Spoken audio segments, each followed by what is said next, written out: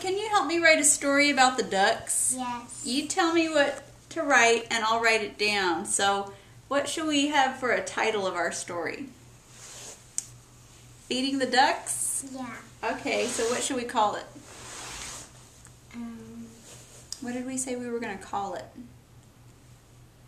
Feeding, eating, new word, the ducks. Ducks. Okay, let's, and we underline it. It's a title. Let's read it. Feeding the ducks. One more time. Feeding the ducks. Can you tell me what we did at the duck pond? feed, feeding them. We were feeding them. Can I write that down? Okay.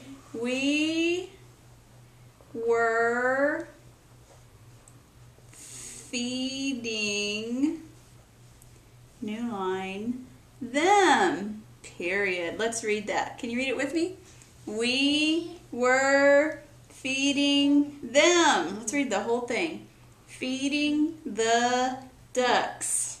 We were feeding them. Awesome. What else did we do? And I'll write it down. Um, we were feeding the geese. We we were feeding the geese. Is that what you said? Yeah. We were it won't fit, so I'll go here. Feeding the there's that word the again. Geese. Let's read that sentence. Period. We were feeding the geese. Let's read the whole thing one last time. Feeding the ducks. We were feeding them. We were feeding the geese. All right, do you want to say anything else? Or are we done? Okay, we'll write the. What do you think I'm going to write? End.